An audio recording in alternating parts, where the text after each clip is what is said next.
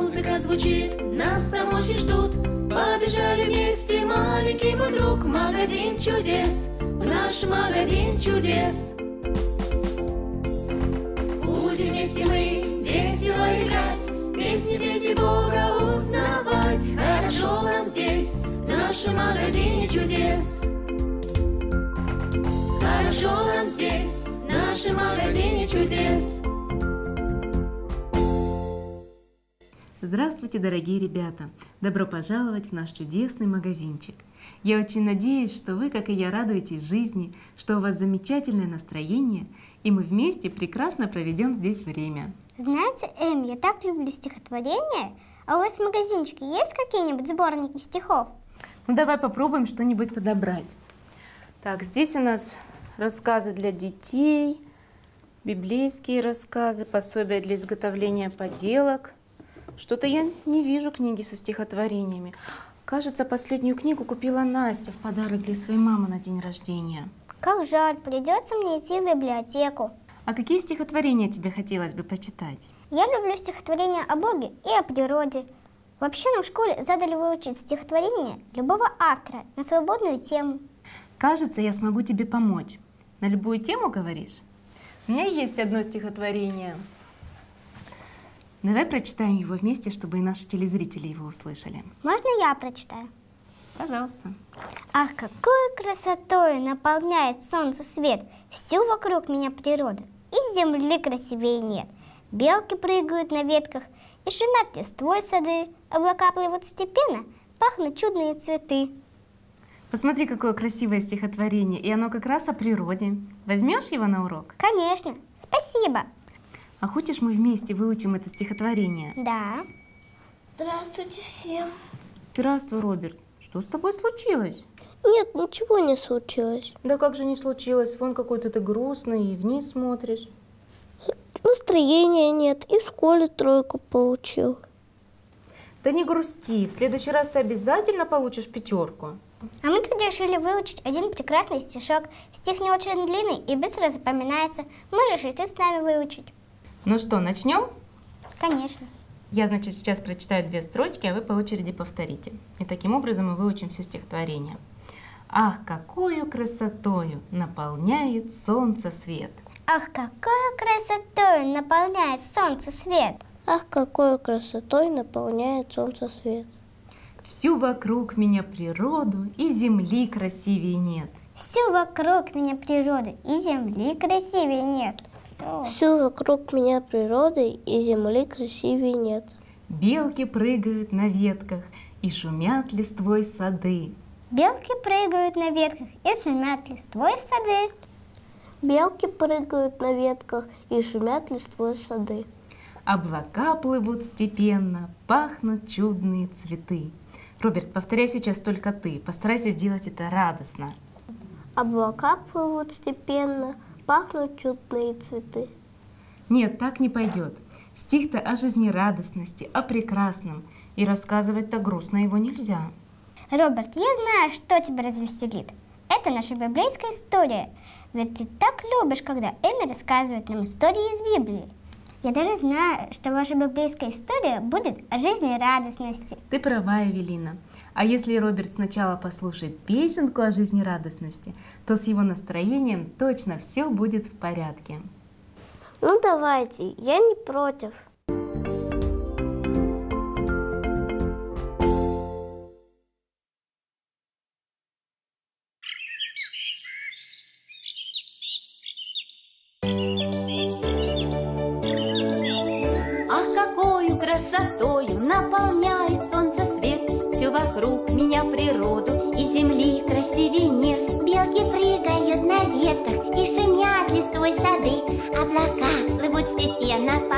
Чудные цветы.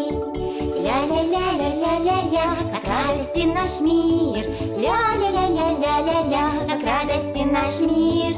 Ля-ля-ля-ля-ля-ля-ля, вокруг ты посмотри. Ля-ля-ля-ля-ля-ля-ля, ты только посмотри.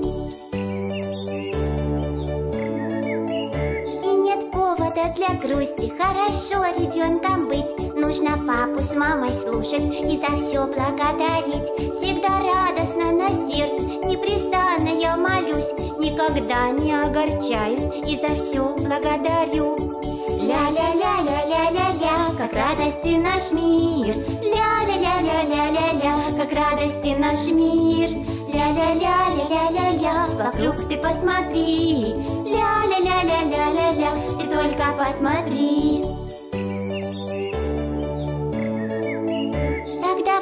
Вами будем лишь добро вокруг творить, окружающим нас людям и природе мир нести. Никого, чтоб не обидеть и не рушить, не вредить, лучше строить, все садить, Бога сердцем всем любить. Ля-ля-ля-ля-ля-ля-ля, как радости наш мир. Ля-ля-ля-ля-ля-ля-ля, как радости наш мир. Ля-ля-ля-ля-ля-ля-ля, вокруг ты посмотри. Ля-ля-ля-ля-ля-ля-ля, ты только посмотри. Ля-ля-ля-ля-ля-ля-ля, как радости наш мир. Ля-ля-ля-ля-ля-ля-ля, как радости наш мир. Ля-ля-ля-ля-ля-ля-ля, вокруг ты посмотри. Ля-ля-ля-ля-ля-ля-ля, ты только посмотри.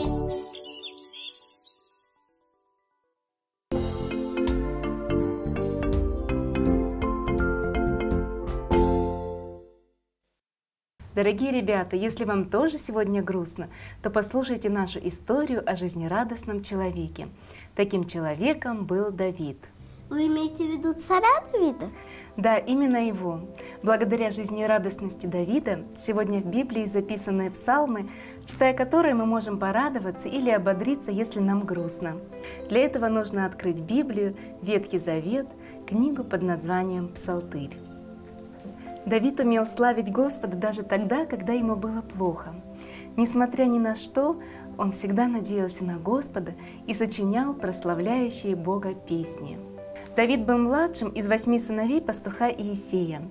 Господь избрал его быть царем Израиля в то время, когда еще Саул был царем. Как вы помните, пророк Самуил помазал юношу Давида на царствование. Давид был жизнерадостным, заботливым пастухом. Он прекрасно играл на арфе и распевал свои песни звонким голосом. Он даже пел для царя Саула. Когда Саул бывал в плохом настроении, Давид пел и играл на гослях, и царю становилось радостней. Саул сделал Давида своим оруженосцем. После победы над филистимским великаном Голиафом Саул назначил Давида начальником над военными людьми. Людям это понравилось, и они начали прославлять Давида.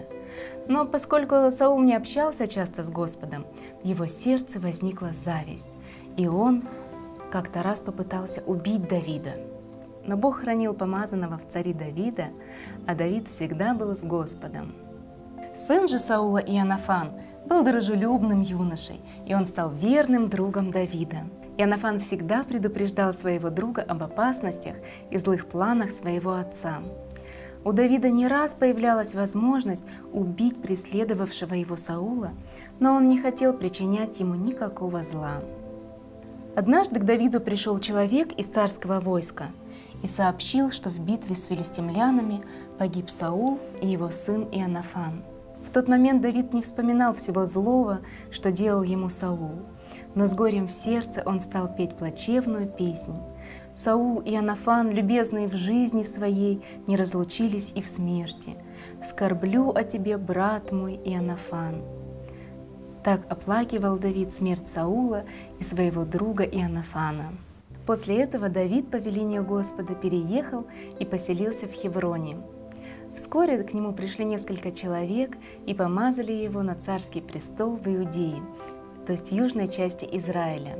А через семь с половиной лет Давид воцарился над всем Израилем.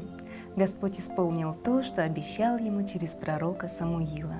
Когда Давид воцарился над всем Израилем, он основал свой престол в городе Иерусалиме. Израильтянам часто приходилось вести в то время войны, но они точно знали, что Бог поможет царю Давиду и его войску одержать победу. Бог благословлял Давида и давал ему мудрость и способность побеждать врагов Израиля. Еще будучи пастухом, Давид пел песни, сочиненные им самим.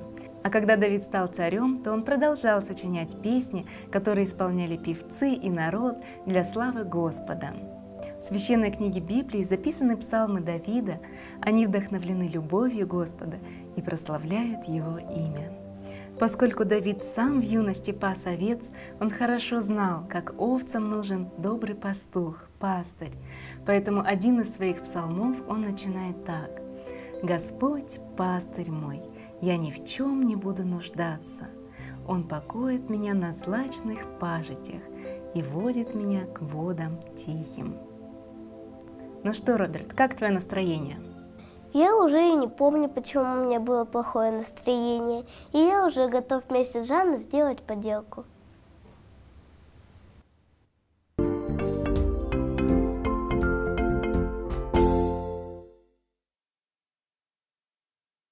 Здравствуйте, ребята! Ну как, Роберт, понял ли ты, как важно быть жизнерадостным? Низкая оценка в школе и другие мелкие неприятности – это ведь все мелочи нашей жизни. Да, на примере Давида я понял, что даже в трудных ситуациях надо радоваться. Ведь Бог обо всем позаботится для нас. На следующее занятие я обязательно выполню домашнее задание и получу пятерку. Дорогие ребята, сегодня мы с вами изготовим веселые носки-певцы. А что, они будут уметь петь? Давайте сначала их изготовим, а потом посмотрим.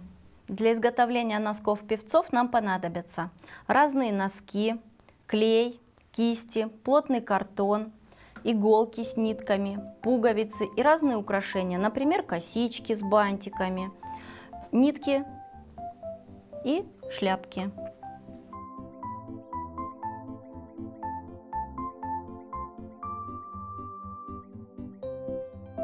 Сначала нужно из плотного картона вырезать овал размером приблизительно 7 на 14 и потом сложить его пополам. Носки перед тем, как изготавливать нашего певца, нужно вывернуть.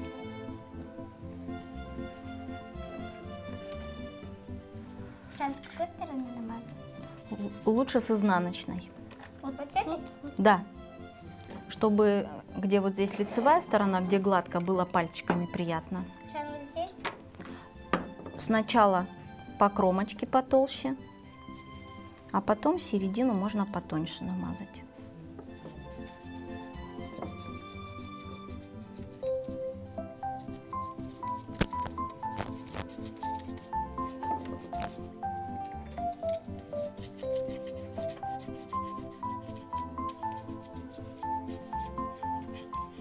После того, как аккуратненько намазали, можно внутрь вложить носок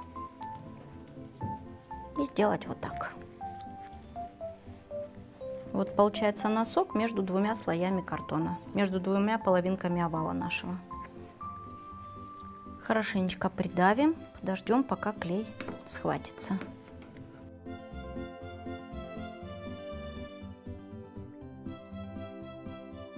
Теперь аккуратно выворачиваем. Опа.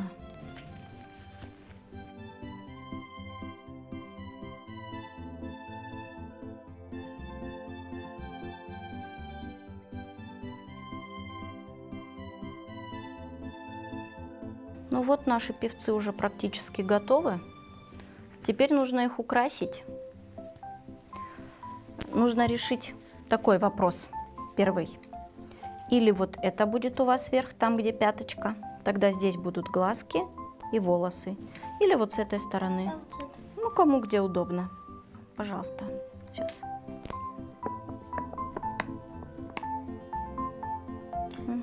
Все, да, сейчас будет капать. Да, лучше на пуговичку мазать. Клей выходит. Сверху? Ничего страшного, ты же туда все равно будешь еще пуговичку тут. клеить. А по бокам? Ну, он прозрачный, он не будет портить общий вид.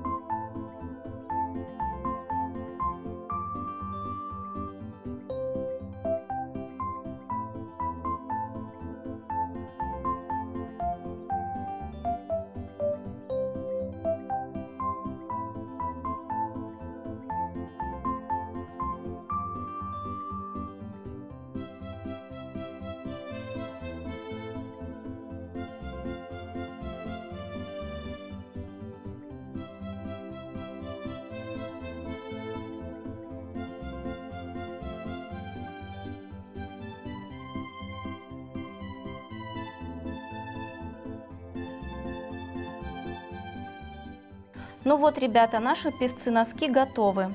Теперь нужно их испытать. Давайте? Давайте. Их можно одевать? Да.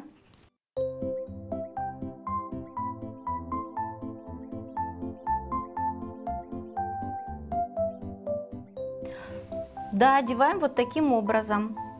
И теперь с их помощью мы можем принести радость и малышам, и взрослым. Ой, давайте расскажем нашим телезрителям наш сегодняшний стишок о жизни радостности. Давайте. Ах, какую красоту наполняет солнце свет! Всю вокруг меня природа, и земли красивее нет. Белки прыгают на ветках и шумят листвой сады, облака плывут степенно, пахнут чудные цветы.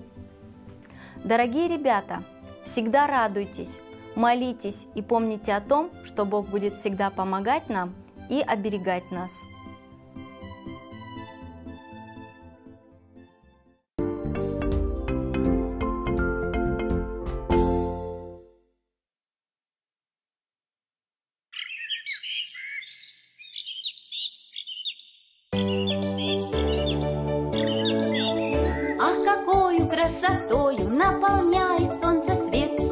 Вокруг меня природу и земли красивей нет Белки прыгают на ветках и шумят листвой сады. Облака плывут степенно, пахнут чудные цветы. Ля-ля-ля-ля-ля-ля-ля, как радости наш мир. Ля-ля-ля-ля-ля-ля-ля, как радости наш мир. Ля-ля-ля-ля-ля-ля-ля, вокруг ты посмотри. Ля-ля-ля-ля-ля-ля-ля, ты только посмотри повода для грусти. Хорошо ребенком быть. Нужно папу с мамой слушать И за все благодарить. Всегда радостно на сердце Непрестанно я молюсь. Никогда не огорчаюсь И за все благодарю. Ля-ля-ля-ля-ля-ля-ля Как радости наш мир. Ля-ля-ля-ля-ля-ля-ля Как радости наш мир. Ля-ля-ля-ля-ля-ля-ля Вокруг ты посмотри Ля-ля-ля-ля-ля-ля-ля Ты только посмотри.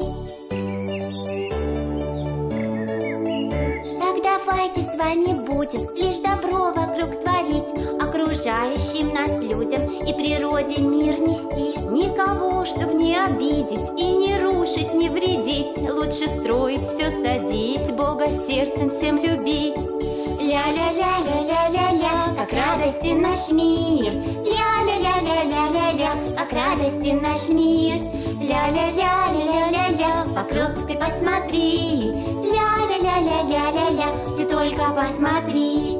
Ля-ля-ля-ля-ля-ля-ля, как радости наш мир. Ля-ля-ля-ля-ля-ля-ля, как радости наш мир.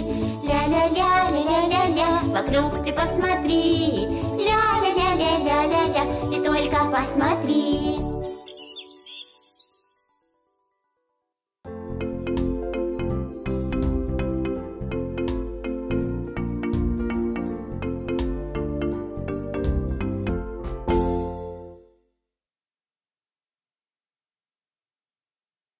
Ну вот и все, ребята, теперь нам пора прощаться. Здорово было у вас. Теперь я знаю, что надо всегда радоваться, а чудесные носочки нас всех рассмешили. А я теперь смогу легко рассказать на уроке стишок о природе. Помните, дорогие друзья, невзгоды пройдут, слезки высохнут, и на небе снова появится ясное солнышко тепла и радости. Пусть Бог хранит вас и даст вам больше радости ваши добрые детские сердца. До свидания.